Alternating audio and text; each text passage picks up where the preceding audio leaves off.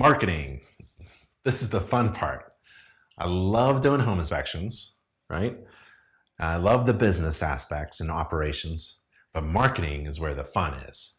Performing an inspection is really fun, but also marketing yourself is a lot of fun because you never stop marketing.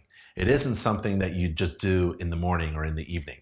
It's something you do all the time. Even while you're inspecting the roof, you're marketing yourself. So how do I, for example, I inspected the roof before my client arrived and I timed it so that when my client did arrive in the driveway, I waved to them. That was part of marketing. This is the show, right? So that they, when they're looking through their windshield, I'm assuming they were like, is that my inspector? Wow, it looks like we hired the right person, right? So it was all about marketing. Um, so we're in step one of the masterclass, marketing tasks. Let's do some marketing, okay?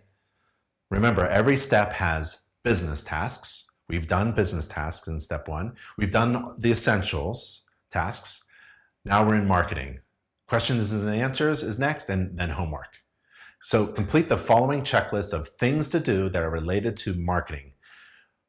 Well, let's get some basics out of the way what is the point of marketing?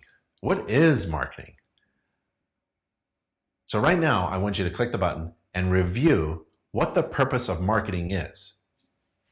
It's not what you think. And before we focus heavily on your marketing strategies, strategies, let's focus on the ultimate goal of marketing.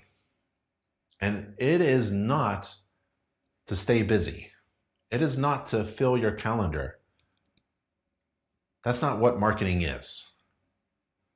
So let's see what, what is the point of marketing. Let's check out the answer. Click the link now to get to the answer of what is the point of marketing.